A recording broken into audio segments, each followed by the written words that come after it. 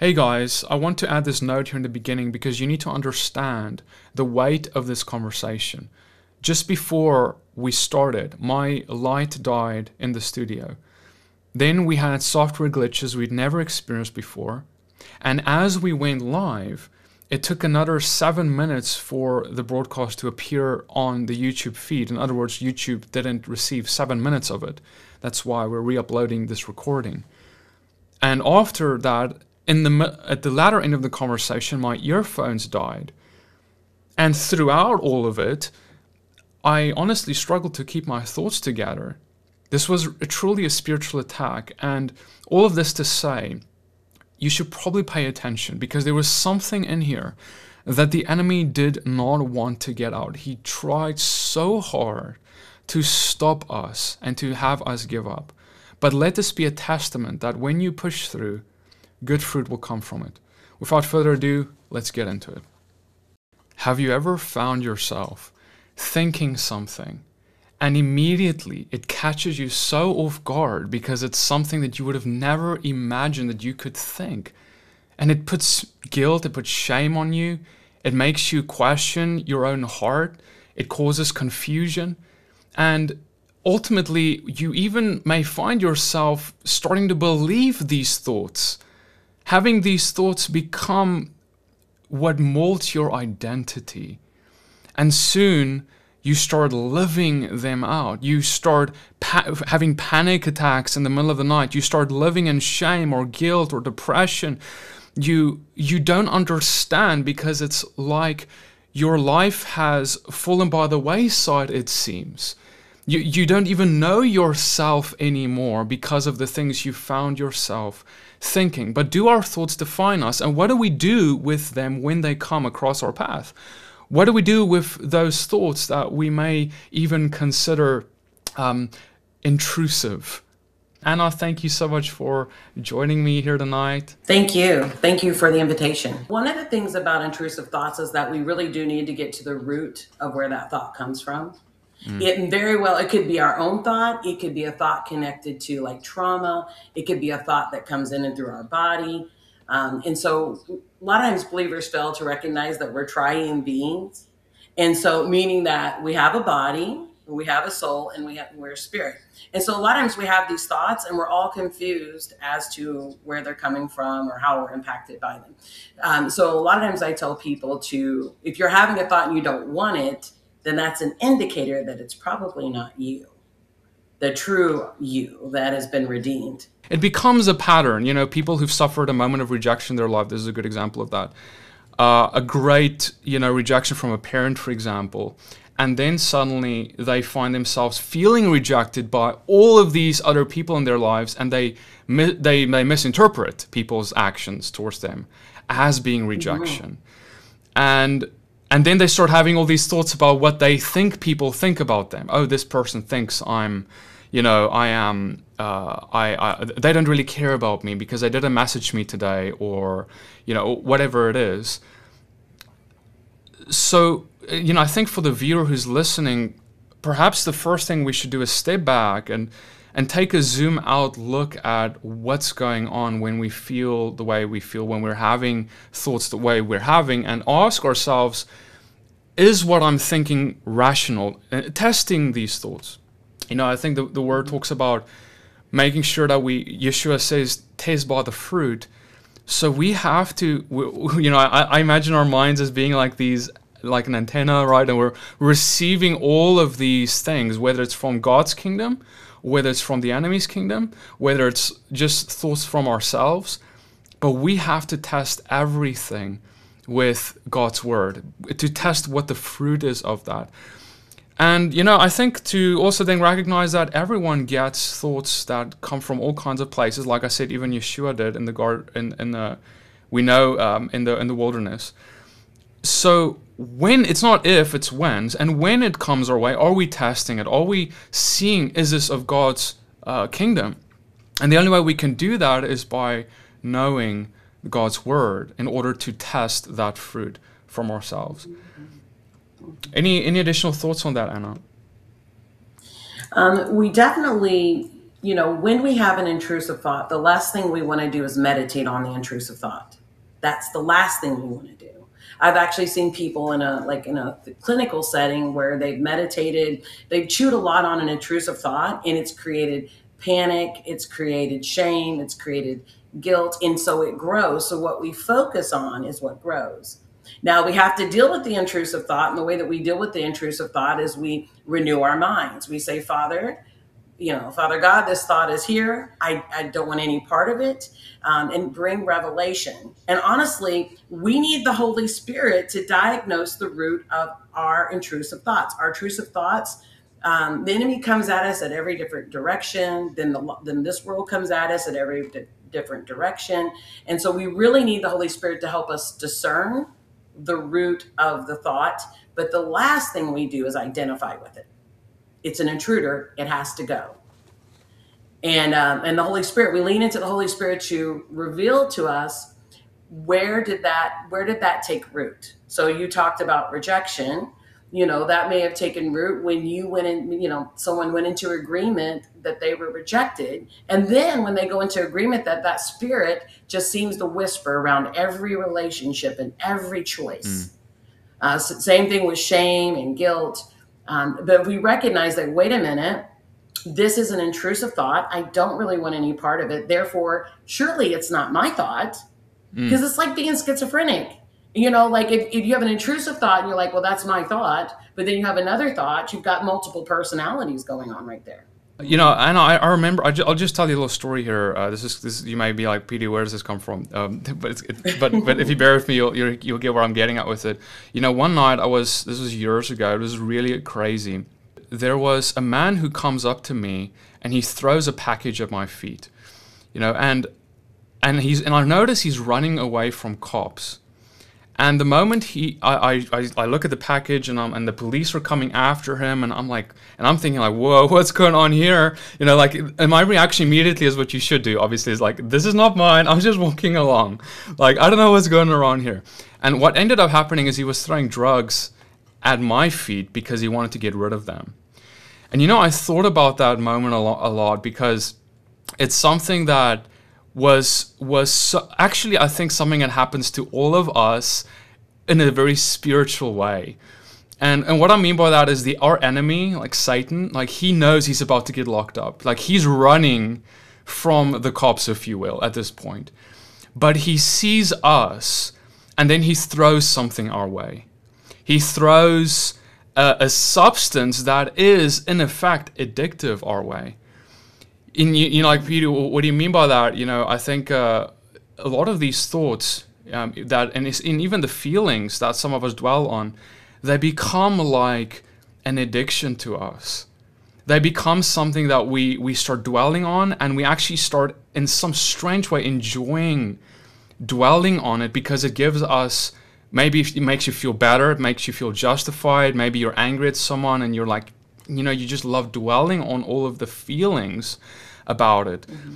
But the reality is, is the moment that the enemy throws something our way, it's like you just said, we have to say, no, that's not mine, and move along. Because the moment that I identify with it, what happens? I become it, like eventually at least. You know, it, it's something I start partaking in, and it changes me, and. Mm-hmm and that's what what's that's what a drug addict is. It's someone who takes something and immediately they we know that they get changed almost immediately and suddenly there's mm-hmm. this addiction and and so for people who are in that place you know they may say PD I'm not addicted I don't like these things but yet why do we still dwell on them you know it's like it's, mm-hmm. it's in some way mm-hmm. also like the drug addict who says I, I don't I don't want to do these things but I still find myself doing them so for someone who is in a spiral as we speak right now they, they are they clicked on this video because they're like Anna I I feel panicked. I feel my like my life is falling apart. I feel like I have all of these overwhelming thoughts and I know they're not from God's kingdom, but I don't know what to do to them. What would you say to someone in that situation right now? Well, the first step is to stop taking ownership for something that is not God given. You know so you know th- that whole thing is is if, if enemy is throwing something at your feet or at your ears usually you just decide that you're not going to take ownership for that but you are going to take responsibility for your atmosphere. And so meaning that when an intrusive thought comes at you then you have to decide what you're going to do with that. Are you going to back away and point to the to the package when the police are coming? Like it's not mine. Here it is. There, there he goes. You know, like pointing his direct. You know, or are you going to be like, this is mine? And what happens is we get entangled in all of that. We get entangled. Um, you know, with the, trying to discuss the reality of it is, is a lot of times people are already they're wounded, and so it's real easy when you're wounded to take a package that doesn't belong to you. Hmm. That's and good. so, first one is like, I'm not going to take ownership for this because I know who God says I am. Who did he say I am? He says, I'm hmm. loved, I'm redeemed, I'm accepted. He says that his yoke and his burden is light. You know, he says all of those things. So, if these things are coming at me, hmm, perhaps they're not from God. And if they're coming at me, perhaps God is actually calling me to healing. See, that's the other thing. If you've got intrusive thoughts and they're keeping you like, we're all going to have intrusive thoughts, undoubtedly Undoubtedly, we're all going to have true intrusive thoughts, whether you're a believer or an unbeliever.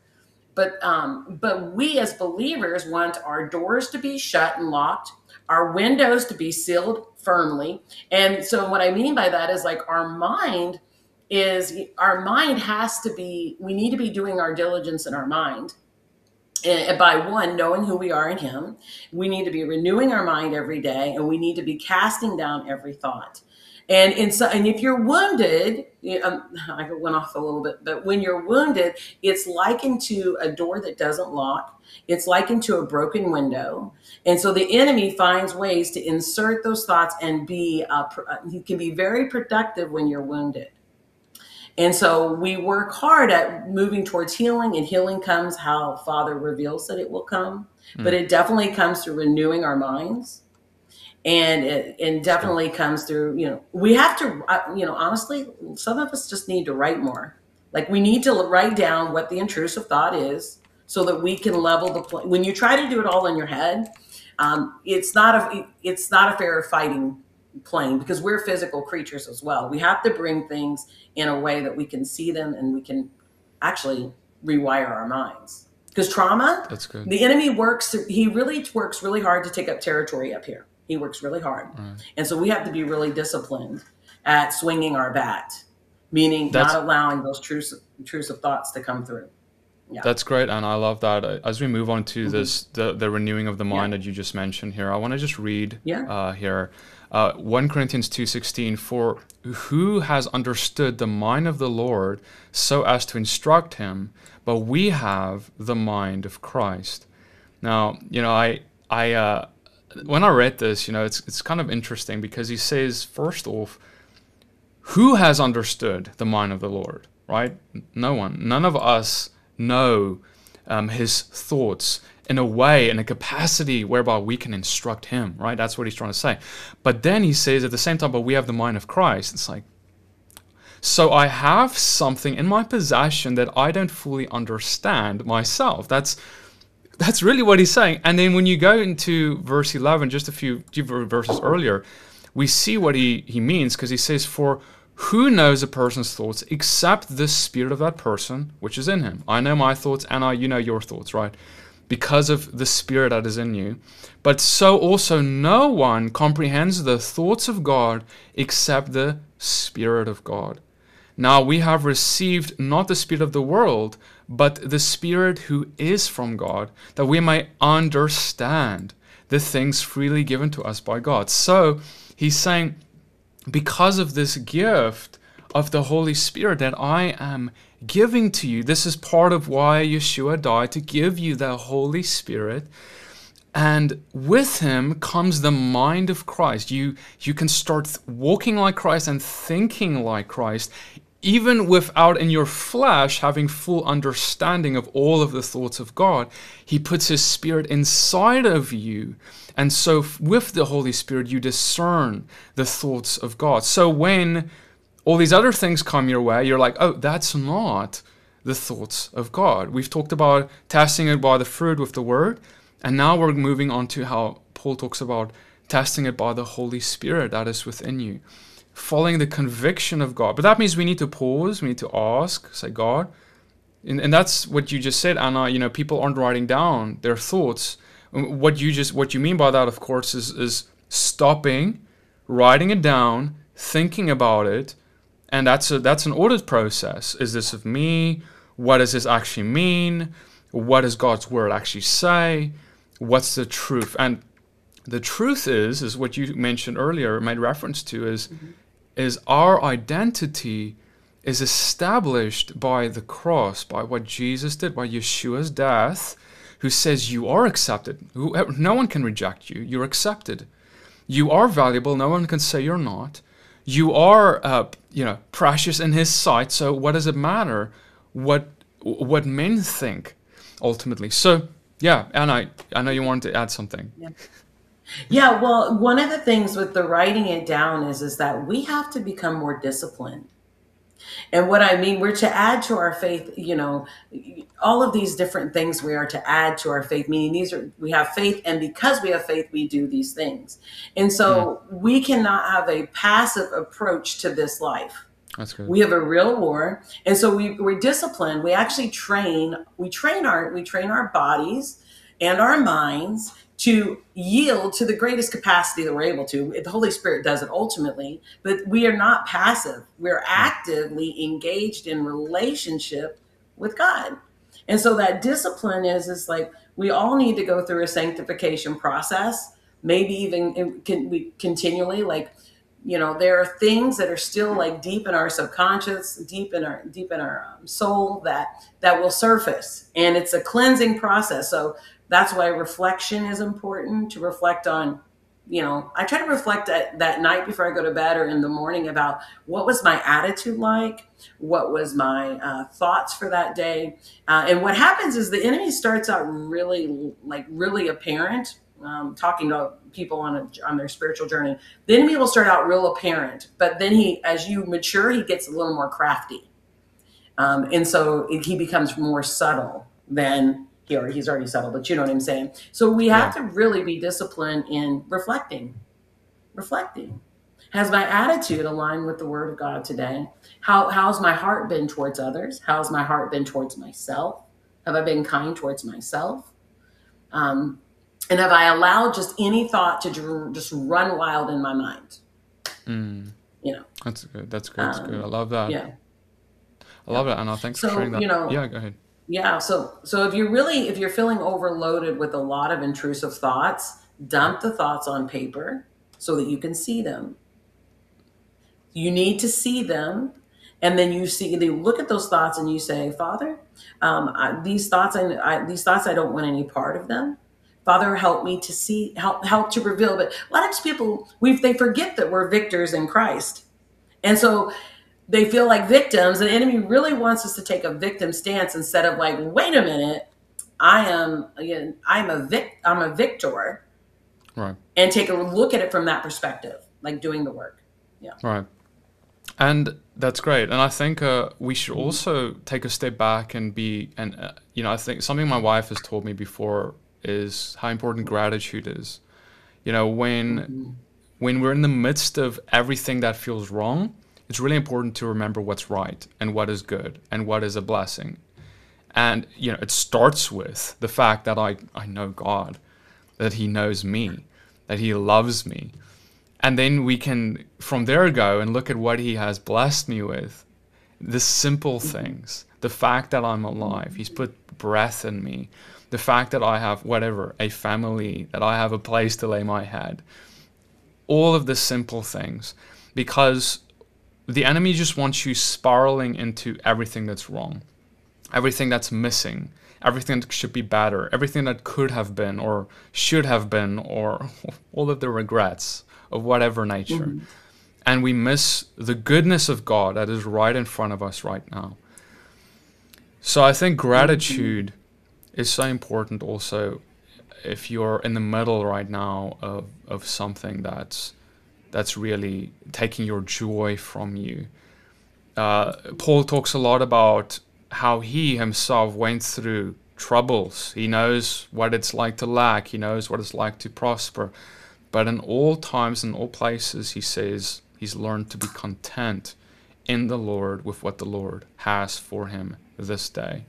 Because ultimately, God is good. He's always good. And even if I have a trial right now, He's still good. In fact, the Bible talks about rejoicing in trial. That those things are things that mold us, that grow us, that, that draws us near to Him, and that creates a character in us of endurance.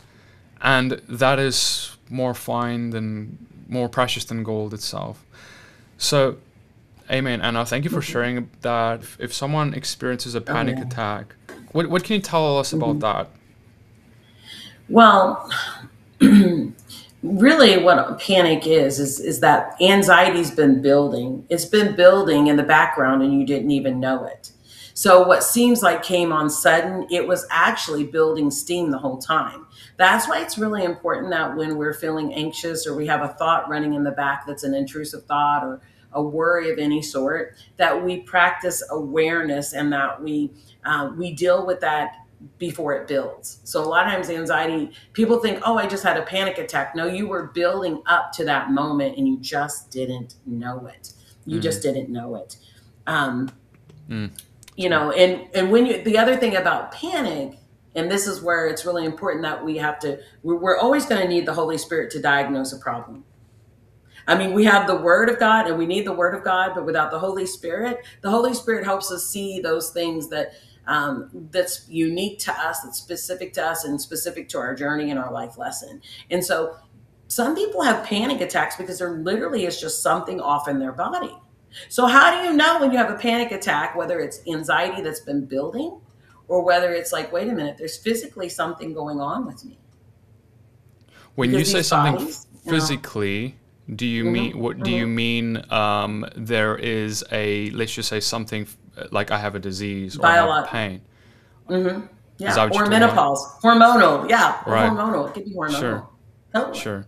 Um, and so, really leaning in and saying, looking, you know, taking that problem before the Father, and in facing, you know, uh, Father, what is going on?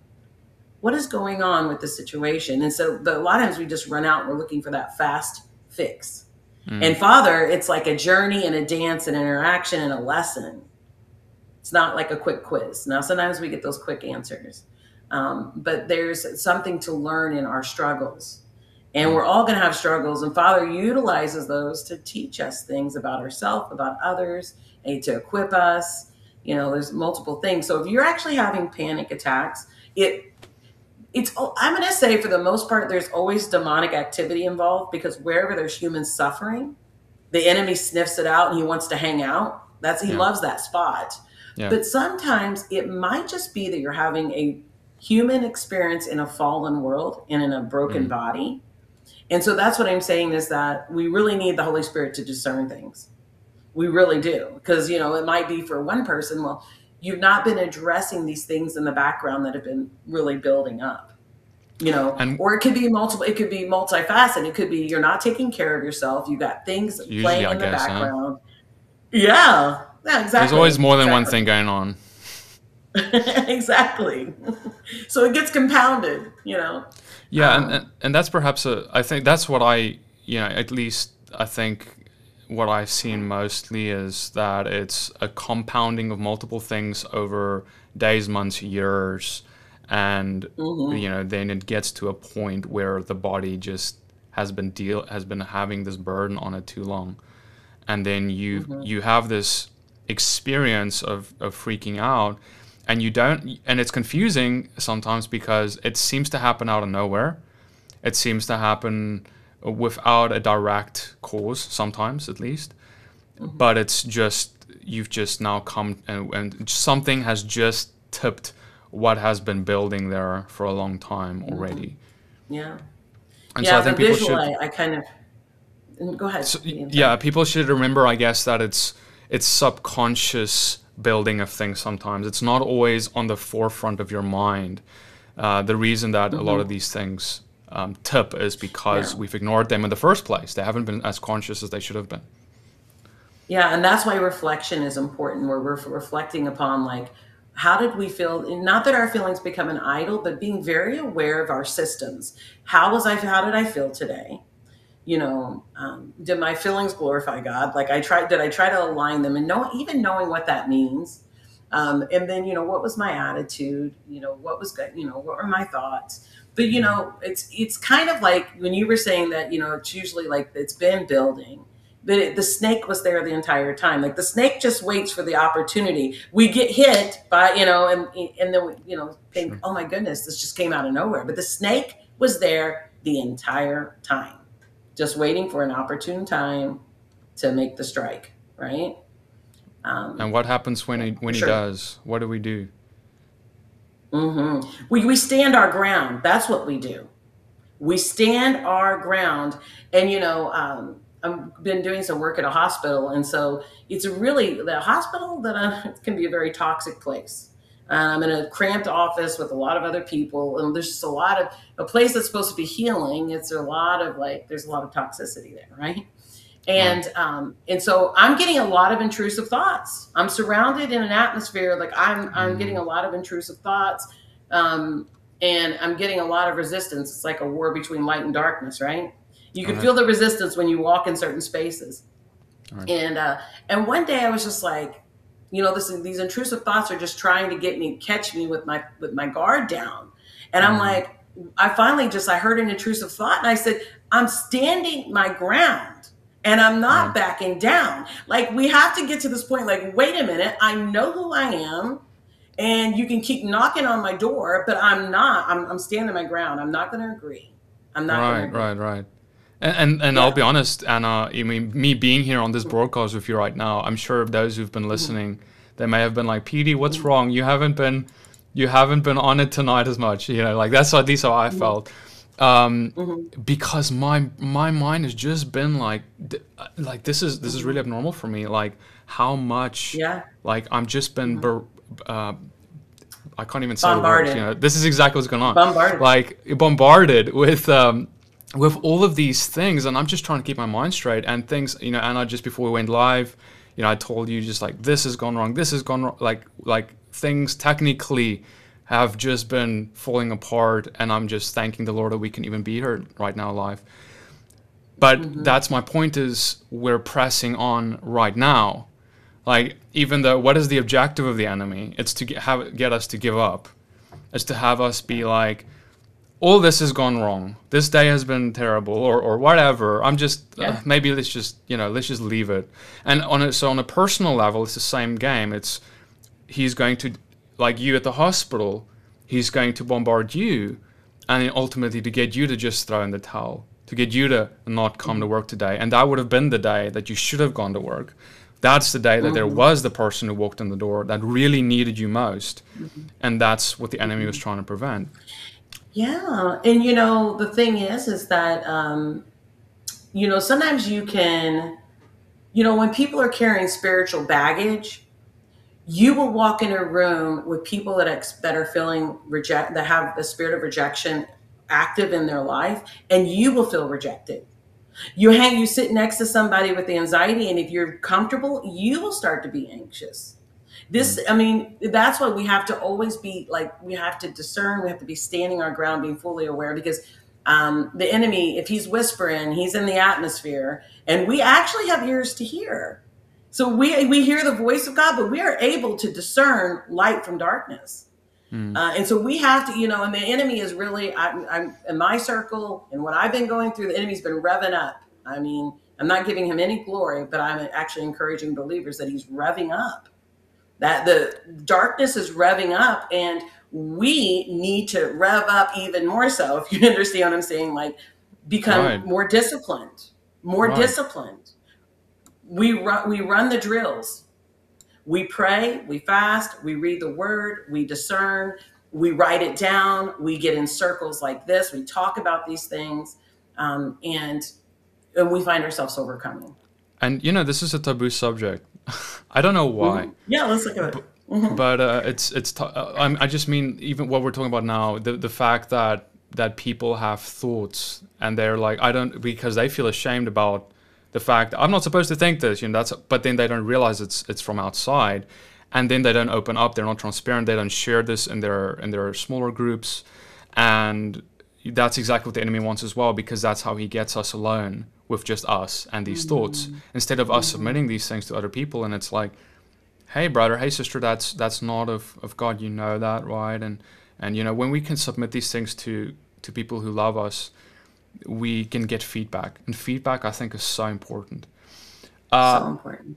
and i want to you know i, I want to just bring up a uh, just some things we've seen on social media just recently with children uh, I, i've just been seeing a ton of people who've posted about their kids having intrusive thoughts and um, so this part, guys, if you're if you're young watching this right now, this this part is parental advisory. Uh, we're gonna. I just want to read a few comments here, but they are going to be a bit more. Uh, you know, they're not going to be as for those who are young. They're not for young ears. My now seven-year-old told me last year when we were laying in bed at night, no lights were on in the bedroom, and he keeps staring into the corner, saying, "Mommy, you're gonna die." Okay, things like that. Um. And uh, now I have, and there was a lady who replied to this, a, a, parent who said what she does with her children. I go around my house screaming, Mommy zombie, and I tell them what parts of their body I'm eating. Okay, so, you know, there's there's things like this that parents in this world are are are busy with. I'm gonna pull up one more here. Um, I woke up early one morning with my two and a half year old the sun was coming up, our apartment was peaceful, we are having a nice moment lying on the couch, facing each other and cuddling. Then he whispered, I want daddy to cut your eyes. Okay, so, you know, mm. And, uh, you know, I, you know I, I, I pondered even like, even should I bring this up? You know, this is really heavy but I thought, you know, I think it's important because the fact of the real the matter is, is this is what children right now, children are mm-hmm. saying, mm-hmm. what they are thinking, what's what's entering their minds. And I think mm-hmm. some, when you look at the responses of the parents, some of these and these comment sections, they were laughing, they're making fun of it, they're joking, ha ha, and it's kind of and they they equate it to the horror movies they've been watching. And so I think we should also not be ignorant to to not realize how what we consume, what we bring into our house, what we allow our kids to be exposed to is going to influence their thought life into adulthood. And mm-hmm. so an identity. exactly. Mm-hmm. It's it's what they're going to end up becoming because these are these are the thought patterns that they're taught. So if we have children and we know what you know, children are children, so children will think and say things that are or what you know what children do sometimes. Crazy. Crazy mm-hmm. things. But that's the responsibility of the parent to come and say, hey, that's not okay. That thought, we should be training our children from a young age to be like, wow. this thought is not of God. This thought mm-hmm. is something that is not okay to have, and it's not of you. It's not yours. Mm-hmm. So, like you've been, everything you've been saying, Anna, so far has been so good. Mm-hmm. I think we think of it as adults, but we should think of this with our children, because then when they yeah. grow up, they're not going to struggle like we've been struggling. No, and so um, you know the thing is, as young minds, the thing is, the enemy is he's there's warfare going on every every which direction. It's in our food, it's in our culture, and it's in the television and on social media and everywhere else. And we, we expose these young minds and bodies that are at a high level of absorption. That, that and so they start to take on all of that uh, and so, as parents, we have to stand our ground and we have to, um, you know, matter of fact, um, right now I'm working on developing a pro, uh, I'm doing a challenge. It's called Victorious Mamas.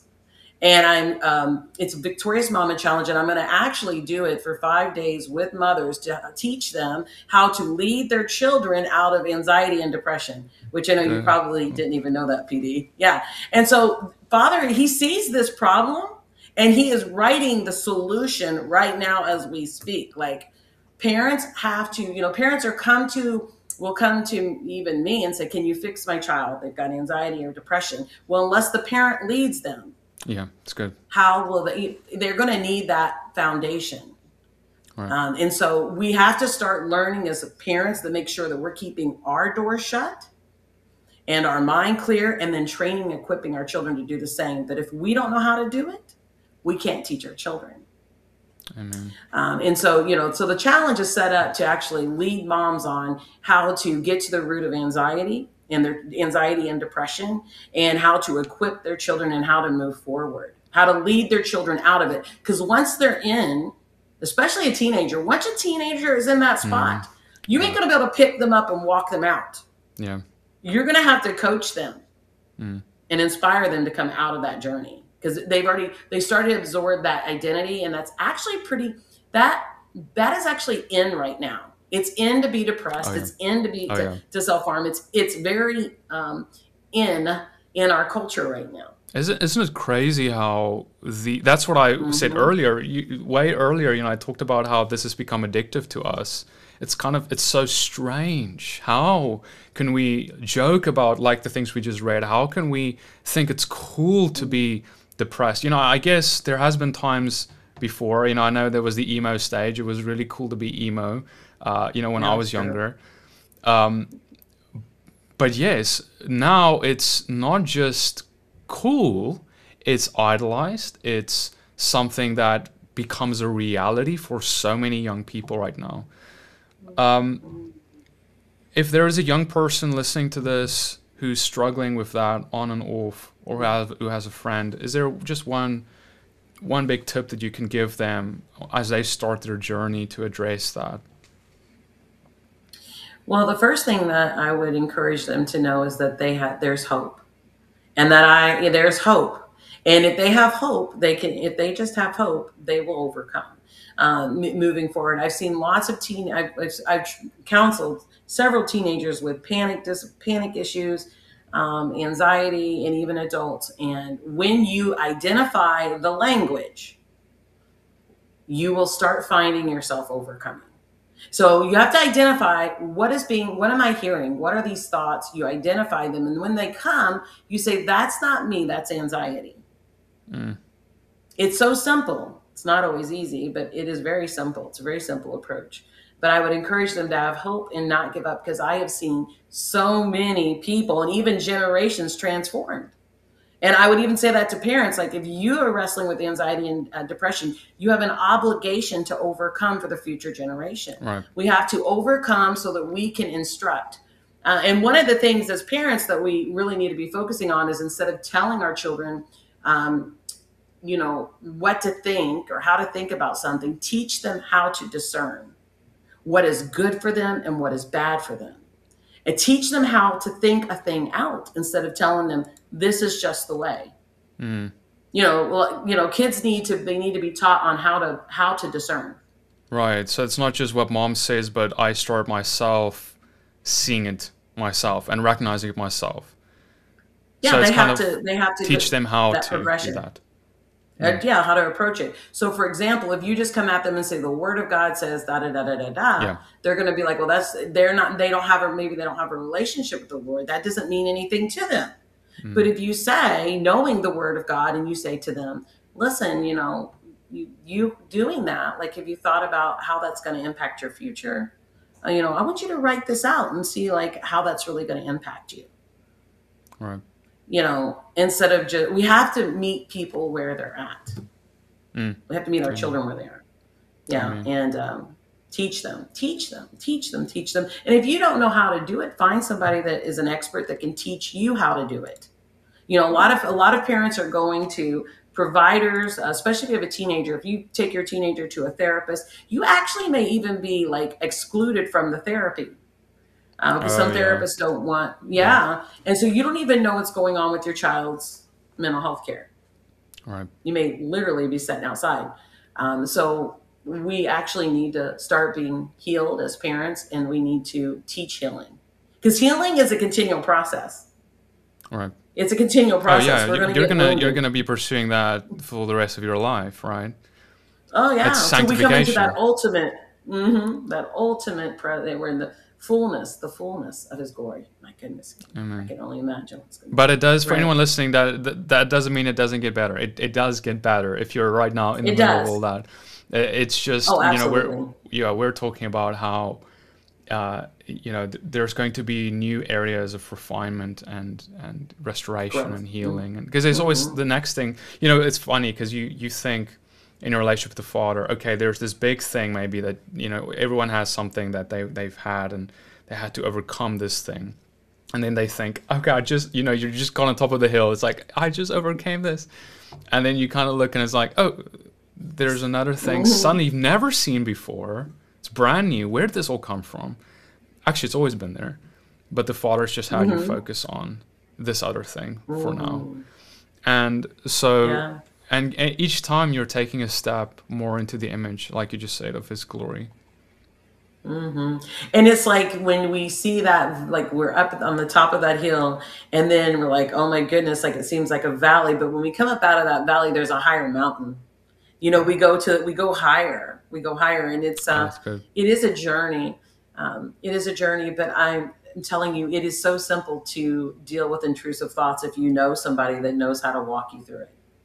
It's so simple because the enemy, the enemy has language, and when you can identify his language, then you know who's in the room. You know who's speaking. You know, um, you know, and a, and a lot of times, anxiety sounds like wisdom. It may say Right, sound, yeah. say something like, yeah, Yeah. have you thought about? You should be concerned about. Right. You need to think about this. Right. You know, and um, and the other thing I would really encourage people is what you focus on is what grows. And yeah, and we really just need before to you go there, just before to- you go there, I just want to remind Yeah, Mm-hmm. everyone that you know what Satan said is, did God really say? Right. So that sound that can sound from a from a per- certain perspective like wisdom. Oh, we're just trying to really get to the bottom of that. We're just really trying to figure out, you know, what did God really mean by that? And that's I just want to add that because that to just illustrate your point there. Yeah. Yeah, absolutely. And so every day we we really do that reflection and, and that's why I write things down too, because the enemy comes with those subtle questions. He comes with those subtle questions. And um but once you like and the thing is is when I was doing when I was doing private practice, um, I learned about anxiety through the Holy Spirit would reveal things to me, and I could specifically identify exactly what was going on in that person's head. Hmm. And it wasn't because I can read minds, it's because I knew who their enemy was. And so I would say, Oh, you've had this thought, and you've had that thought, and you've had this thought. And they're like, How did you know? I said, Because you're not alone. There are like a lot of other people that have identical thoughts. So Right. it tells me there's a person involved. Right. Yeah. So, mm-hmm. Amen. All right, Anna. Um, maybe we can. I, I want to conclude with, I guess, for my part, just saying, you know, for anyone listening, mm-hmm. also remember that this is a spiritual war. Remember that you know we've we've already made reference to how the enemy is involved in this. This is not just all psychological, even though you know there, there's there's all kinds of things involved. We have our physical mind. Mm-hmm. There's a lot of spiritual things involved. But also remember how the scriptures tell us to resist the devil and he will flee from you. So when you are feeling attacked, resist the devil when you see a thought is not of God. If there is a thought that is, did God really say, of some sort, if it is questioning your identity in Christ, if it is put, putting rejection and guilt and shame, you know, like shame and guilt, uh, what are we ashamed of? What are we feeling guilty about? I how can I have unforgiveness towards myself? Christ forgave me. That means I must forgive myself in light of his grace and mercy because I need to imitate him. That means I can be free from me and the things I've done and I can live for him. And so when you're living from that identity in him, recognizing that he accepts, he loves you not because of what you've done, but because of what he's done and how he's seen you and because he's your child and that you're his creation because of those things now you can realize well his forgiveness is for me it's real it's true let me offer for everyone including myself and so shame now is no longer mine because god hasn't put that on me he's only declared uh, made a way for me to be forgiven through through the cross. Uh, so, Anna, do you have any concluding thoughts that you'd like to give anyone listening to this? yeah. Well, And- back and- back to sh- no, go ahead. Hmm. Sorry. Yeah, go ahead. It's fine. No, I was going to say back to that shame and guilt. Um, shame often needs to be exposed. So if you are feeling shame, to have that conversation with someone that's safe and let them know what your shame is because sometimes once you actually share that um, and if you're a kid watching do not share it with another kid because that's not safe okay but find a safe way to actually talk about what you feel guilty about and what you what there's shame about. Um, because what happens is when you bring it to the surface and you put it out there then um, shame often will it, will dissipate a little bit. It, it, gets bigger when you when you hide it. It gets bigger when you hide it um, the other thing is is that go before the father and, and let him know these are the things that you're experiencing. And as PD said resist resist resist. And don't spend a lot of time you know don't get tied up in like making it your identity to figure out what your problem is okay? Resist any thought and it may even be your thought but if you have a thought that's contrary to the word of god or just resist it. And what that really looks like is it is to kill self there's a you know it's to it's to cut away that which doesn't ident doesn't um, align with god's word. So stand your ground you know just because you're having an experience doesn't mean that you're making it happen. Like you could just be having an experience. You could be just experiencing anxiety. You may not even be you're not necessarily creating it. It's not maybe not yours. So yeah stand your ground and don't back down. That's that is what because the anxiety will come at you. It's real subtle but when you start keep pressing forward it you know, sometimes revs up. Sometimes mm. revs up. And you and say it out loud. Put it out say i'm you know say in, for me it's like no i'm standing my ground and i won't back down. I said that out loud but you, it may be different words for you.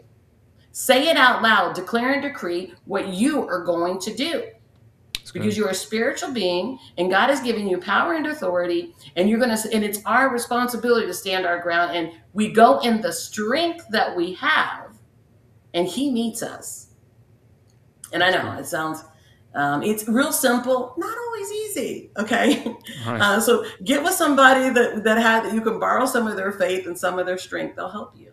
They'll help you through it for sure. Amen. Anna, thank you for that. Can you share with us how people can find you, uh, maybe even about mm-hmm. what you've been up to lately in terms of any connection mm-hmm. with people who want more help? Yeah, for sure. Um, so um, you can you can sign up for my newsletter on overcomingdaily.com. You can find me on uh, Facebook at Overcomer Coach Anna Johnson. Um, you can also um, find me on um, YouTube at Overcoming uh, Overcoming Daily with Anna Johnson. Right now, the focus is is that I'm really focusing on mamas and equipping mamas on how to lead and equip their children um, out of anxiety and depression um, or just leading their children practically yeah, and spiritually. Because a lot of times people we we have under we have, understand the spiritual aspect, but we don't really know how to do that practically. Um, and so that is what my focal point is right now. Is that I want Father really wants the future generation to be blessed. And we as mothers or as parents we get to impart that prom the promises. We get to lead our children into the promises and to impart freedom. And um, and you know we all need to know how to lead. Anxiety and depression it's amping up. It's a spirit that's in the world right now. And so we really need to um, study to show ourselves approved we need to know the word of god but we also need to know how to execute it practically so yeah that's that's it uh, for me right now PD. All right, Anna, thank you so much. Yeah. Guys, go check her out. I'm going to put uh, links to her uh, resources in the description of this video. Uh, Anna, thank you so much. I know that this means a lot to many people. If this has blessed you, uh, I would love to bless Anna for all of her time and uh, energy that she's given to us here tonight. So uh, if you would like to um, sow into her ministry, you can go to riseonfire.com. We'd love to bless her. Many, many blessings to you and shalom.